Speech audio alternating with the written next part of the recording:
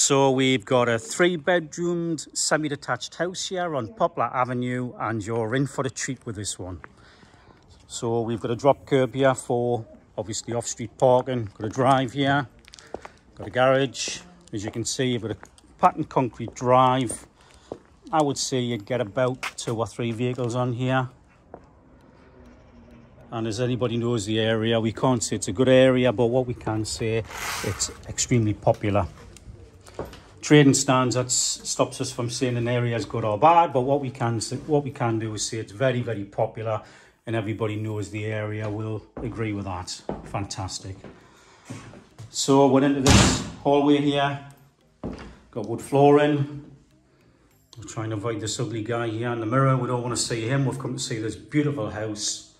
Fantastic hallway. Obviously you've got the glazed door here, glass, double glazed window there for natural light. And you're in for a treat with this one. So we're spinning in. Again, got wood flooring, bay window, got a beautiful log burner there. And I'm just going to spin around, show you this room. Obviously got coving, got the ceiling there, ceiling rose. Absolutely beautiful. There's always some hidden gems on these streets and when you get inside them, you just look at them and you think, yeah, I'd live there myself and I certainly would do. We're heading into the diner.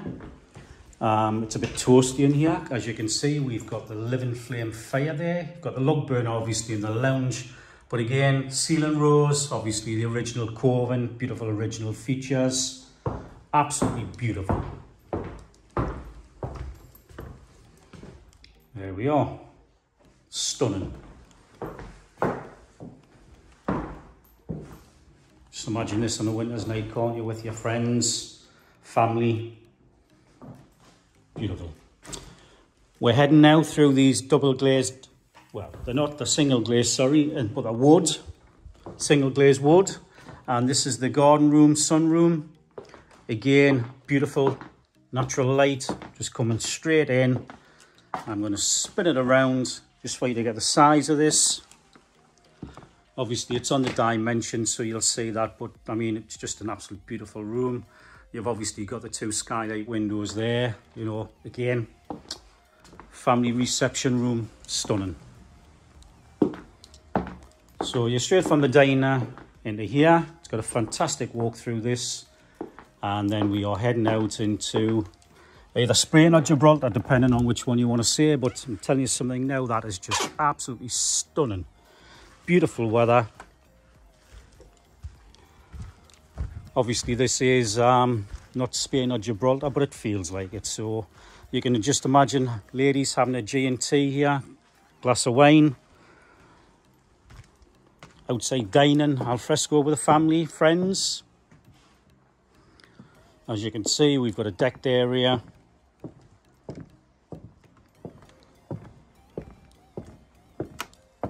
seating area. I mean, this really is an area for outside dining, enjoying time with your friends and family.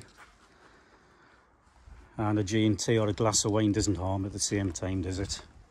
So rear door from the garage there. And spin this around. Beautiful.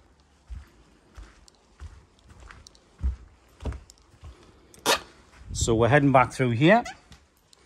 And we're going to be heading through into the kitchen. Kitchen, as you can see, you've got an island here with the hob. Got the oven there. Beautiful. Obviously, you get your cooking done, head into the reception, garden room, head into the diner. But I think with this weather, I think most people would probably spend time outside. But again, that natural light just shines through into this.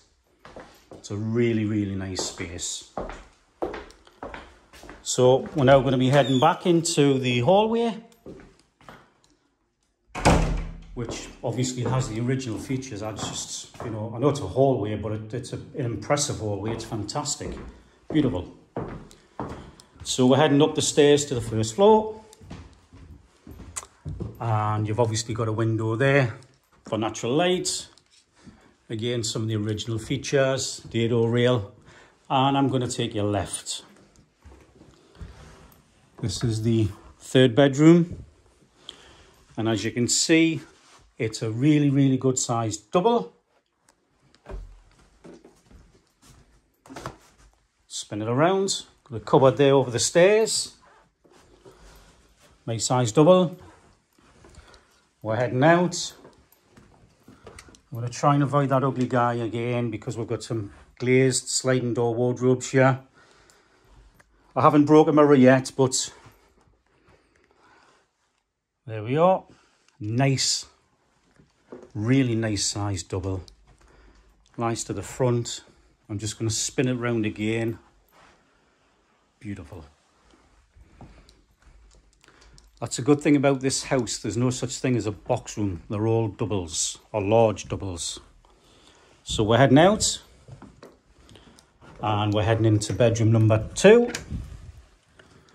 which as you will see, again, we've got a mirror there, so avoid him.